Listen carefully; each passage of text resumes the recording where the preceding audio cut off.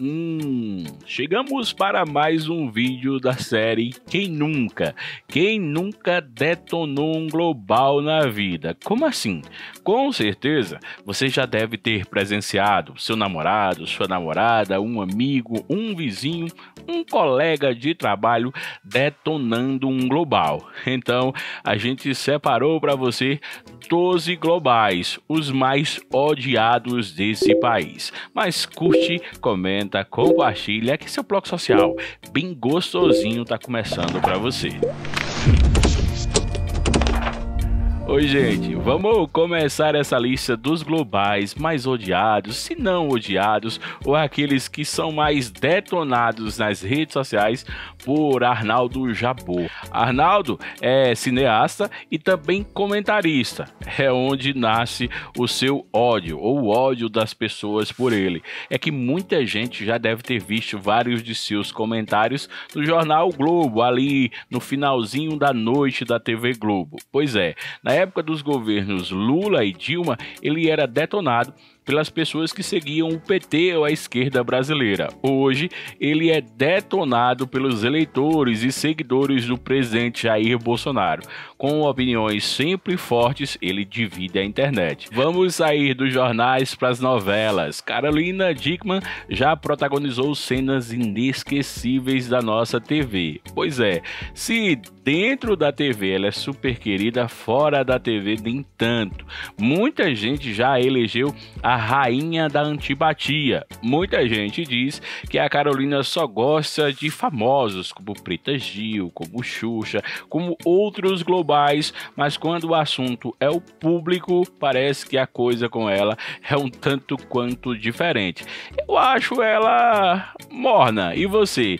Quente, fria, morna, simpática ou antipática? Aproveita o seu espaço e deixa já seu comentário. A gente vai para o Fausto Silva, que é um dos caras mais queridos nos bastidores da TV brasileira. Seja querido não só na Globo, como em vários outros canais. Mas muita gente sempre reclamou que Falsão não deixa os convidados falarem, que ele é praticamente dono da sua opinião. E aí, o que é que você acha? Falsão está entre os odiados ou os amados? Quando o assunto é política, ele já disse, nessa coisa de estica para a direita, estica para a esquerda, o Brasil só saiu perdendo e ele foi atacado nas redes sociais. Você concorda com Falsão? Sim, não, talvez, porque me conta aí que a lista lista é longa. Gabriel Braga Nunes já interpretou vários vilões em novelas da Globo.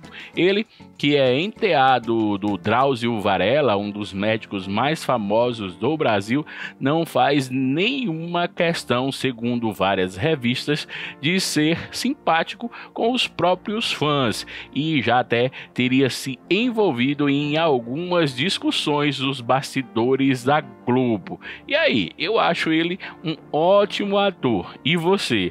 Aproveita, dá sua opinião mais uma vez. Você acha que um ator deve ser simpático com seus admiradores, com seus fãs ou não? Ele tem que ir lá na TV, fazer seu papel e tá. Ponto final. Bom, vamos para mais um nome enquanto você responde.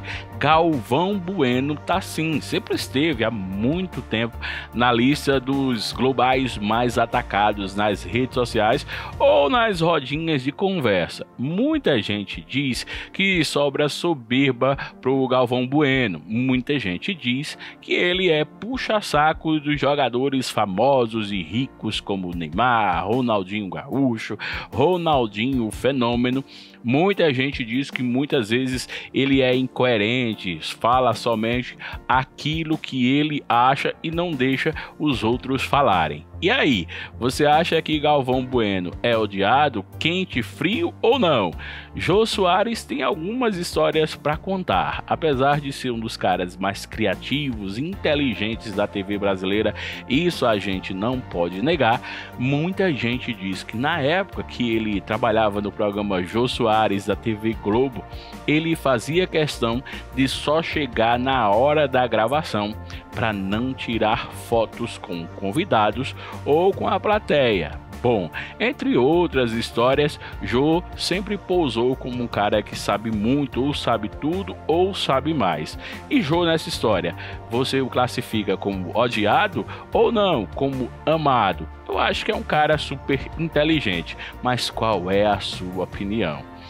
Luana Piovani, atriz linda, maravilhosa, fez novelas, fez filmes, já trabalhou na Globo, todo mundo sabe, é odiada nas redes sociais, talvez por ter uma opinião forte sobre a maioria dos assuntos que ela resolve debater, principalmente em suas redes sociais. Bom, Muita gente acha ela linda, irresistível, mas muita gente não suporta a Luana Piovani.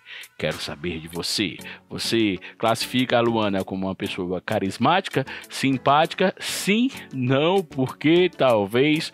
Bom, eu acho que ela é uma pessoa legal, que ela fala tudo o que ela pensa e talvez ela acha que pode. E você? Luciano Huck é um dos caras mais queridos da TV brasileira, ou era, desde que se enveredou pela carreira de político, deseja ser presidente do Brasil, ele passou a ser atacado pela esquerda, pela direita, pelo centro, por cima, por baixo. Muita gente diz que Luciano Huck deve continuar na Globo e jamais se interessar pela carreira de presidente do Brasil. Ele ainda pensa, ainda sonha em ser, mas enquanto esse sonho dura ou durar, ele vai ser detonado e odiado nas redes sociais. Você concorda, discorda? Qual sua opinião sobre o Luciano Huck? Tem mais um nessa lista. O Paulinho Vilhena é um dos caras mais festejados da Globo, mas dizem, dizem as línguas mais atuantes da TV brasileira que o cara já se envolveu em barracos, discussões com vários atores e diretores nos bastidores da TV Globo, que muita gente não faz questão de trabalhar com ele. Quando o assunto é falar com os fãs, tirar fotos com os fãs, ele aparentemente não faz muita questão, apesar de muita gente dizer que ele é simpático. Eu gosto do Paulinho Vilhena como ator. E você? Concorda? Discorda?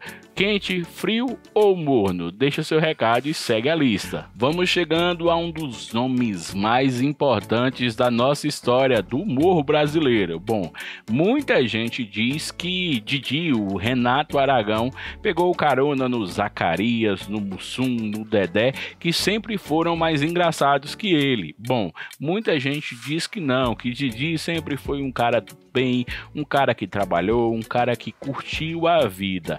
Bom, tem algumas histórias, lendas urbanas dizem que um rapaz perdeu um emprego em um shopping no Rio após pedir uma foto ao Didi. Alguns jornalistas dizem que Didi maltratava os outros trapalhões. E você, acha que Didi é morno, quente ou frio? Qual sua opinião? A gente chega a Suzana Vieira, uma das atrizes mais importantes da história da TV Globo. Ela que já protagonizou várias histórias, fez Anjo Mal, Senhora do Destino e por aí vai mas seu jeito espontâneo de ser faz com que muita gente ache que a Suzana Vieira é um tanto quanto soberba, dona da razão, só ela pode, só ela faz, só ela é bonita, só ela é talentosa. Você concorda, discorda? Quente, morno ou frio? Suzana Vieira e os outros? Deixa logo sua opinião. Vamos encerrar essa história bom com um nome também super conhecido no Brasil quem, quem, quem? Tchan, tchan. William Bonner. Bom, o cara do Boa Noite Brasil. Jornalista, um dos nomes mais importantes e competentes da nossa história em telejornais. Ele já foi atacado pela esquerda, já foi atacado pela direita, já foi atacado pelo centro. Eu trouxe para saber sua opinião. Você acha que o William Bonner é um cara super competente, isento na hora de dar notícias, sim ou não? Você acha que ele é mais esquerdista, direitista? Vale a pena você deixar sua opinião, que eu juro que estou curioso para saber. Bom, a gente sabe que muita gente nas redes sociais não gosta do William Bonner. E aí, gostou dessa lista? Ficou faltando alguém Quem? Me conta, curte, comenta, compartilha. Quer ouvir somente as músicas aqui do Bloco Social? Primeiro link na descrição. Bloco Social. Tchau, tchau.